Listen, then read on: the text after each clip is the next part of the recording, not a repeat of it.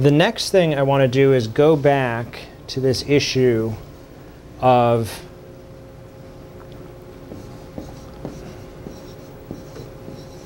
phase leading phase change leading to a decrease in signal amplitude right in the presence of flow.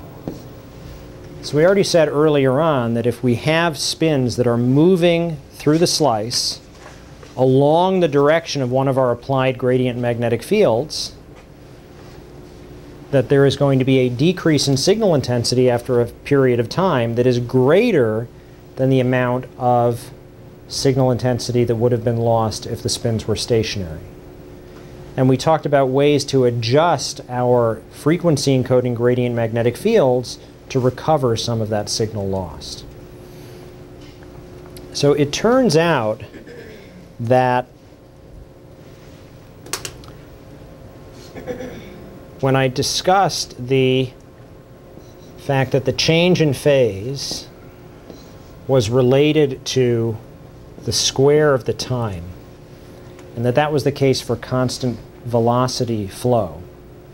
Right, so this is a simplification, and there is another right factor in this relationship, which actually is the velocity.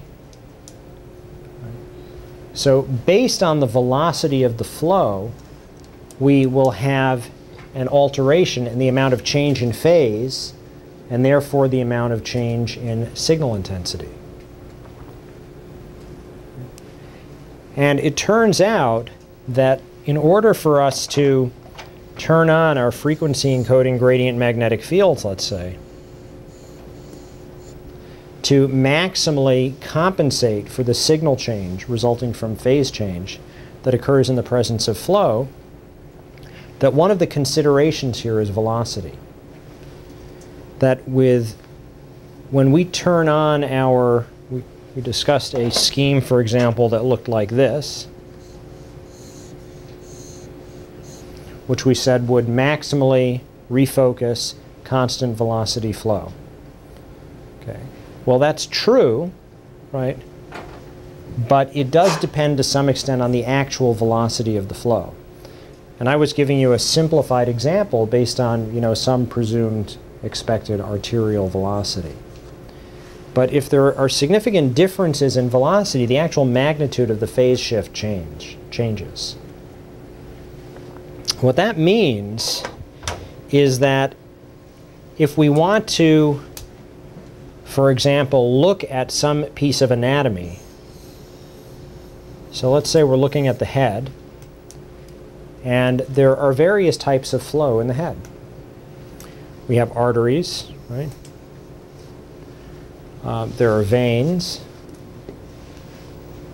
right? There's venous sinuses, and there's also flow of right cerebrospinal fluid. All of these things flow at different velocities. We tend to think of arterial velocities being the highest, venous a little bit lower, and CSF velocity being much lower. Uh, it actually kind of depends. Depends on what veins you're talking about, for example. The flow velocities in the superior sagittal sinus are pretty similar to arterial velocities. If you ever, if you've ever been, if you're in the OR and you see them nick the superior sagittal sinus, it's like amazing how rapidly that black blood comes flowing out of there. So if we want to set up a scan so that we maximally compensate for the phase change loss of signal resulting from, from flow, we need to know something about that velocity. And we can actually make an image which is specifically designed to assess whatever that flow velocity is that we're interested in. Right? So we could set up our image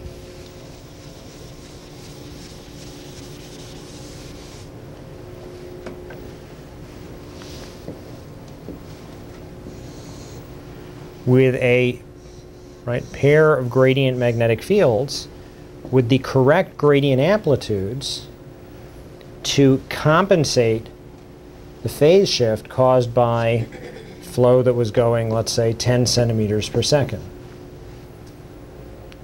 So if we were interested in making an image where we were partic particularly sensitive to a specific type of flow, it's simply a matter of setting up these gradient magnetic fields in a way that works for that. And typically in the pulse sequence, what we will actually do is not, it's not just a matter of dealing with the frequency encoding gradient, but there is an extra gradient magnetic field applied. So this is our, oh, that wasn't good. So if we have our right 90 degree RF pulse, TE is over here, and this is our slice select gradient, right? Phase, frequency. So we have our slice selective RF pulse, some phase encoding, and then we have over here our frequency encoding gradient. So let's say that we're interested in detecting flow at some velocity. Well, we can turn on an additional application of a gradient magnetic field that is designed to optimally refocus that velocity. Other velocities will not be maximally compensated by this gradient combination. So there's a net zero effect on a specific velocity. Anything outside of that velocity has a non-zero phase shift or undergoes signal loss. The resulting signal that we sample is therefore right, sensitive specifically or has more signal from flow moving at this specific velocity.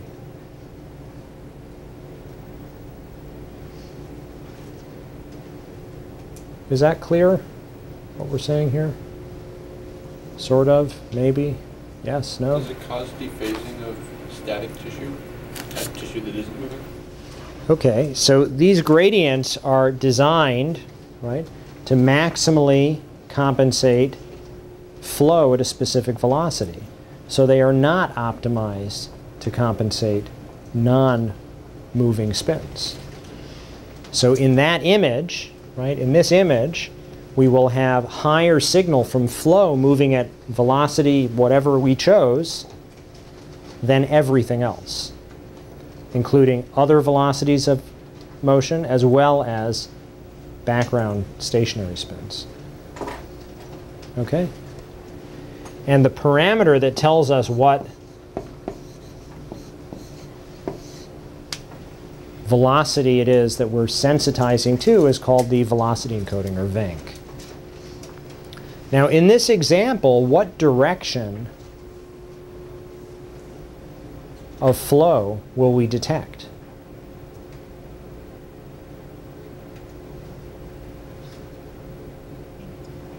Any direction? Okay.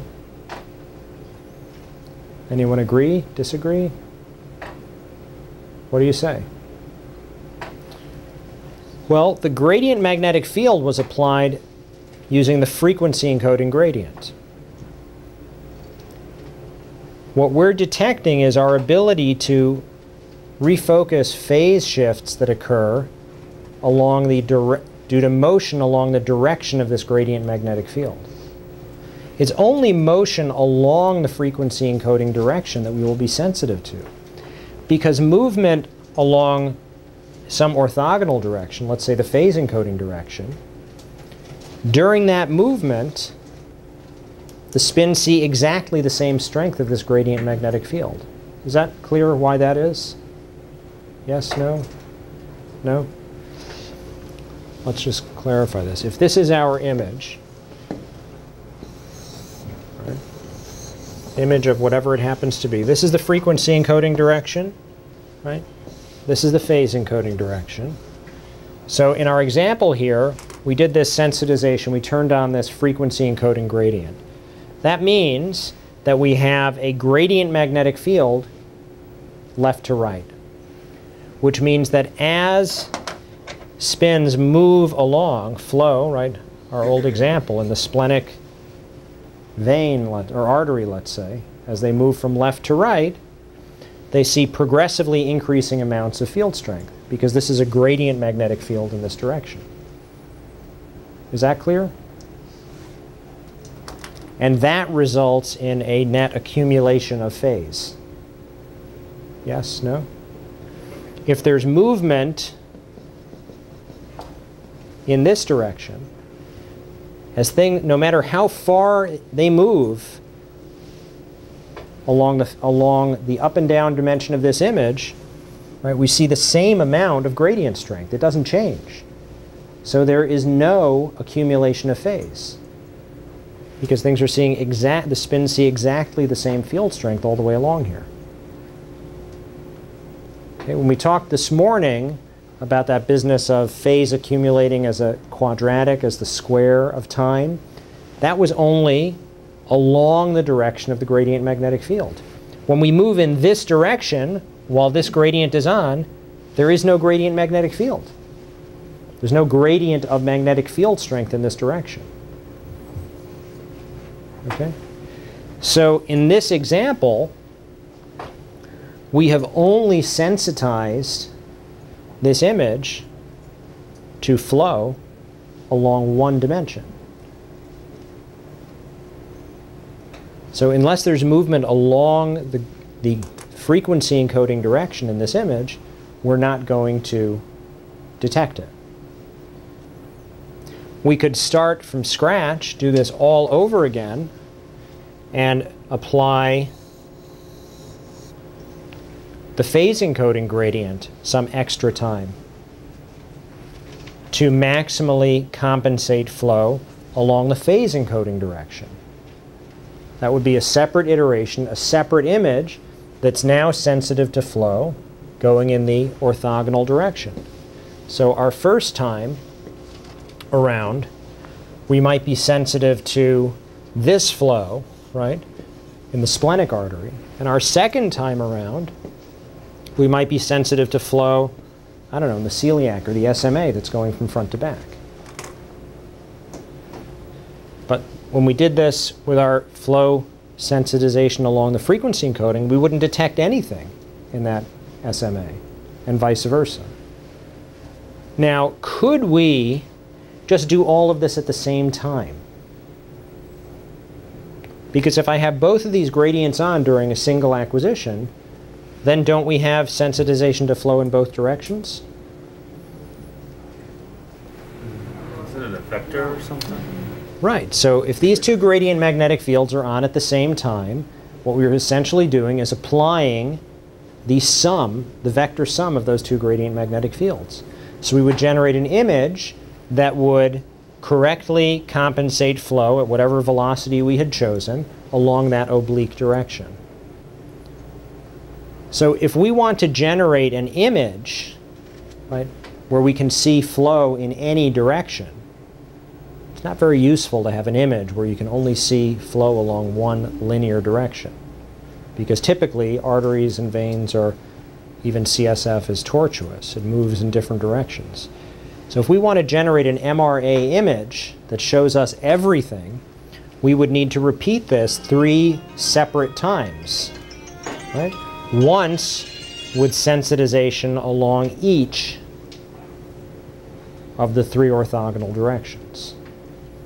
And then we have to take those images and combine them together into a single image. Typically what happens is we actually acquire four images.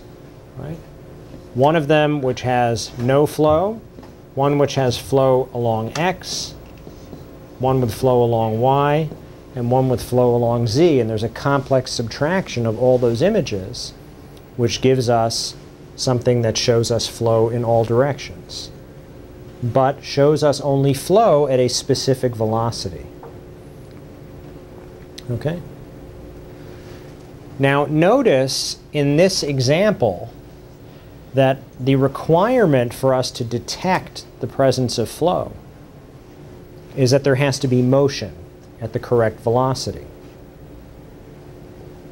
It has nothing to do with how much longitudinal magnetization there is or saturation or anything like that.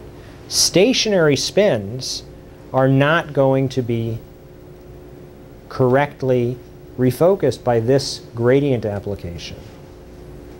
And as a result, the contrast to noise, so to speak, or the difference in signal between flow and the background in this type of approach is extremely high. Right, our background suppression in this approach, which is called phase contrast, if I didn't say it, MRA, is, is excellent. And we don't have to rely on doing things like saturating background signal. It's a combination of the images inherently only being sensitive to flow, as well as the fact that we're doing the subtraction, which includes taking away an image that's not flow sensitized. The problem, the downside, is potentially two things. One is that it takes a really long time to do this. Okay. The other is that we have to choose our velocity carefully. Depending on the velocity you choose, you will be excluding even flowing signal from your image if it's flowing at a velocity that's outside of the range that you've selected. Okay? So in practice, I mean in real life in terms of why we bother to use this, you know, why don't we do this all the time? It has great background suppression. So the biggest drawback is that it takes so long to do. Uh, the reasons why it is beneficial are a couple of things. First of all, we potentially have the ability to actually quantify the flow. We talked on, I think on Monday, about this idea of imaging with a quadrature coil and being able to generate an image called a phase image. We can actually measure these phase shifts right, and quantify flow. This is actually used in cardiac imaging. So if you want to look, for example, at the flow velocity across the aortic valve and try and make a decision as to whether it looks like it's a high, you know, a critically high degree of stenosis or something like that. Or if you want to look at CSF flow velocity, I'll show you an example of this. You can do that simply by quantifying flow. The other thing you can do with phase contrast is because you can tell what the phase shift is, we can actually tell the direction of flow. Based on the orientation of the phase shift, we can tell whether the spins are moving one way along the gradient magnetic field or moving the other way along the gradient magnetic field, which can be very useful in some specific diagnostic situations. So for example, if you want to look at flow direction in the vertebral artery in someone who might have a subclavian steal, this is a way to do it non-invasively. But perhaps one of the, the most useful is that this technique has nothing to do with the T1 or apparent T1 of the blood. So if you think about that example I showed you earlier of the carotid dissection, where we had that T1 shine through artifact, where there was high signal in the blood vessel simply because of the presence of methemoglobin, where there was very rapid relaxation, and it had nothing to do with the presence of flow.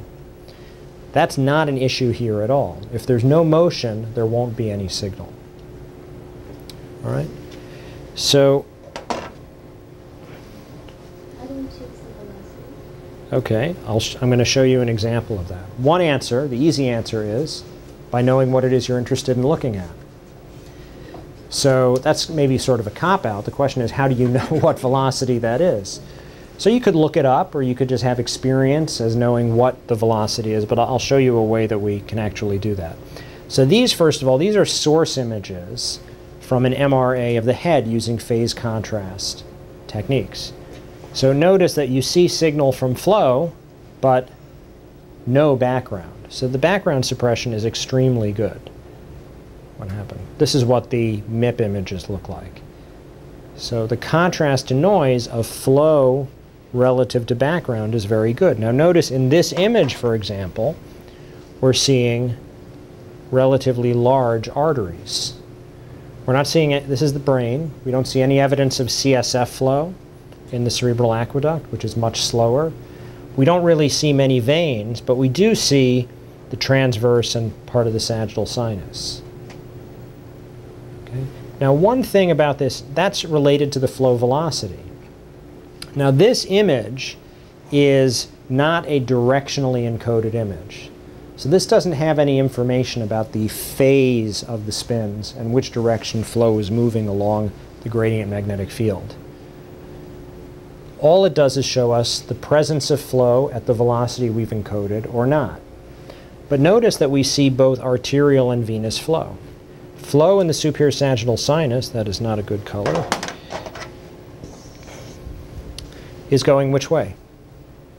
Toward the feet.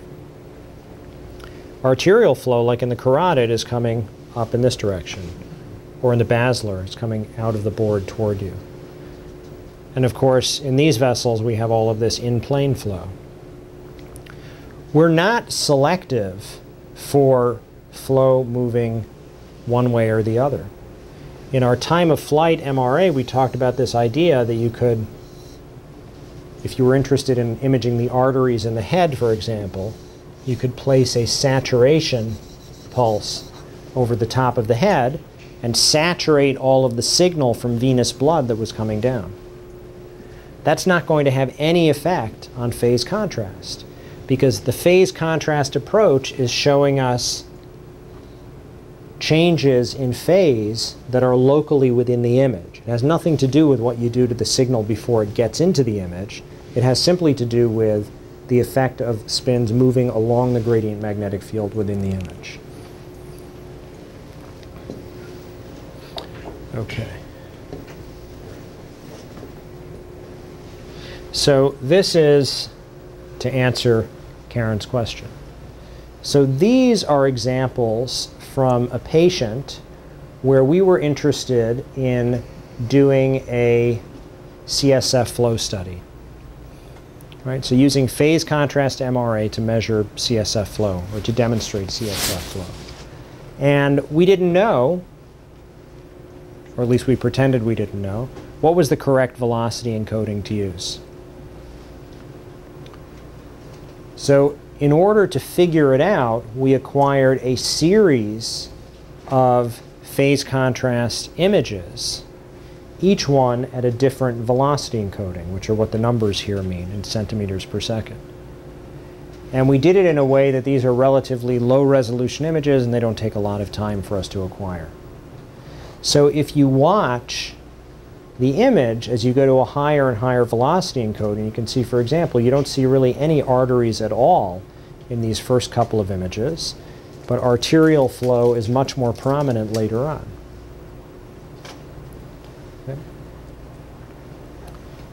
So you can do sort of a, an iterative process like this before you start your scan to, to get a sense of what would be the correct velocity encoding. Now, this is an example of a CSF flow study. This is one from a couple of weeks ago that I did where we acquire our phase contrast angiogram. It, even though we're looking at CSF, it's all the same technique. And we choose the VENC, the velocity encoding, right, to match CSF, which typically, by the way, is on the order of a few centimeters per second right? Maybe three, maybe five. That would be a typical amount. Then what we do is hook the patient up to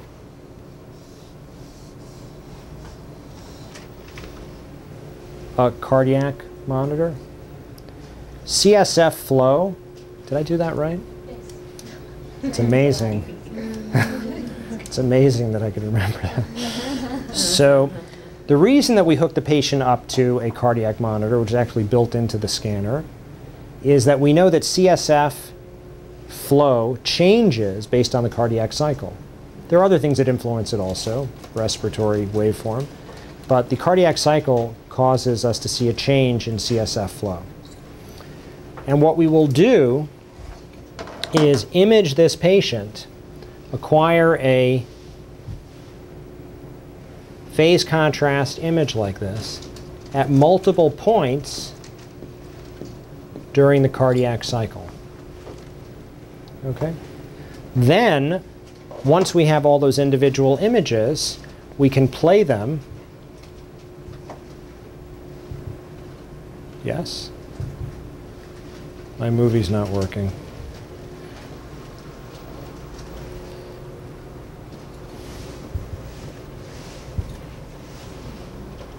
Hmm. Okay. Stay tuned. I'll bring my movie out after the break.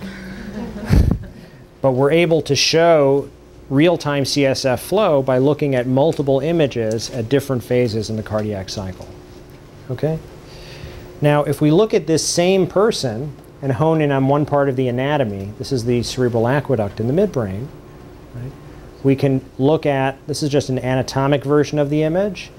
This second row, this is just showing you a few slices, showing you that there is high signal on this gradient echo image because there's inflow into that slice.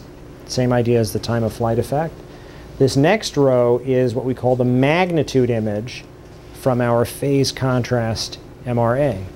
It's just showing us where there is flow at the velocity that we have encoded, and that's why the aqueduct looks white.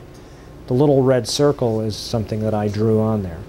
This next set of slices is showing you a phase image. And we have another one of those down here on the right. That's simply showing you the direction of flow extracted from this. And we can look at this information quantitatively to determine right, what the flow velocity is within this structure based on the phase shift. Why do you need the cardiac cycle? Why do you need one? I'm sorry? Why do you need an EKG or why do you need a cardiac monitor? Well, it depends on what kind of information you want. So if we want, I have to show you the movie, I guess. What we want to do is look at flow in real time. So the location of the CSF is going to, the distribution of flow, right? The, what we're seeing here is over time, so we've acquired multiple scans over time during the cardiac cycle, and what I'm showing you is the quantitative velocity over that period of time. So what you can see is that during the cardiac cycle, at this location in the cerebral aqueduct, velocity starts out low, and then it increases, and then it falls off again. So if we want to show that dynamic flow, for example, in some pathologic states, in someone who has aqueductal stenosis, we might not detect this effect. There might be dampened range of velocities. Or if you look at somebody, for example, with a Chiari malformation, where you're looking at the foramen magnum, we can actually look in real time at how CSF and whether CSF seems to be flowing through the foramen magnum around the brainstem, or are things so tight that CSF can't flow through there. So the only way you can get that information is by looking at a range of points in time. If we just imaged here, or if we imaged once and we randomly happened to end up looking at this at a point where there was naturally a low velocity because it was a lull in the cardiac cycle, we might, might misinterpret that piece of information. What about people with arrhythmias? It's a problem, right? Typically, it's potentially a problem. Now, in a CSF flow study, it's less of a problem because we're typically only looking at, right, a, we're only interested in a single iteration, but it really depends on, if you're averaging this over many cardiac cycles in order to get the information for all of your images, and there's an arrhythmia where things are all over the place, that, that's a problem. There are approaches to deal with that. There are things like uh, arrhythmia rejection, where you know you can monitor. I mean, this is not my area of expertise, but I'm not into cardiac that much. But there are ways to select from what was done only the pieces of information that occurred, you know, with the same pattern of, of cardiac cycle.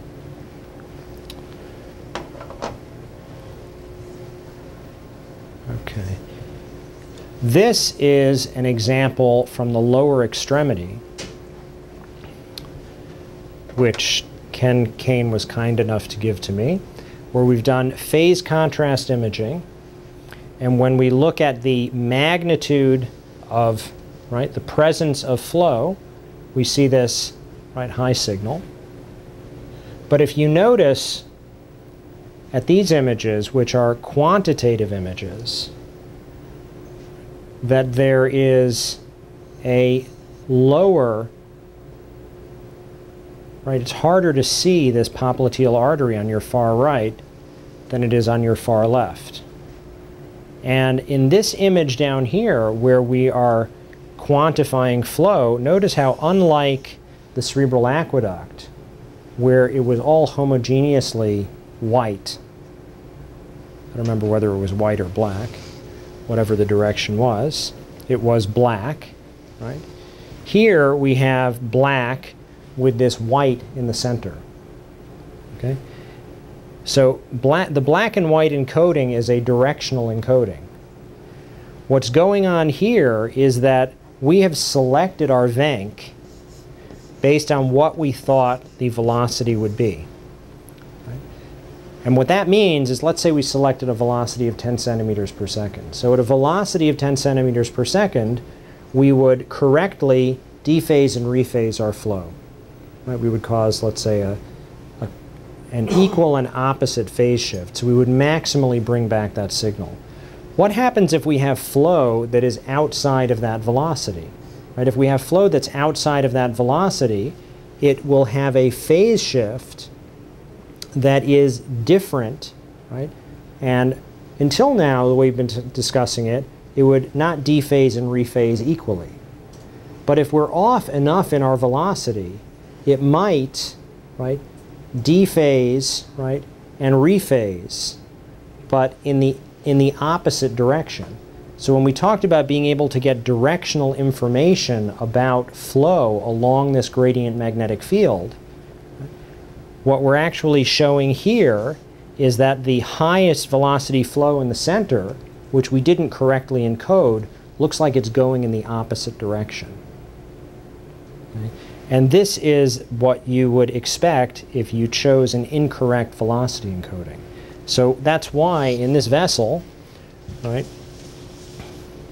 just like when we looked at the saturation of flow in the time of flight MRA, you're seeing an expression of laminar flow. There are lower velocities at the periphery and higher velocities at the center. So because we didn't choose our velocity encoding correctly, we are aliasing part of that velocity spectrum, so it looks like it's going in the opposite direction. Okay, and this is just a token cardiac example, right? So here's a gradient echo image on your far left, just a structural image. This is the phase contrast angio image, which simply shows us the presence of flow. If we look at the direction of the phase shift, though, which is what we're looking at on the far right, you can actually tell the direction of flow, right? Toward the head in the ascending aorta, and toward the feet in the descending aorta.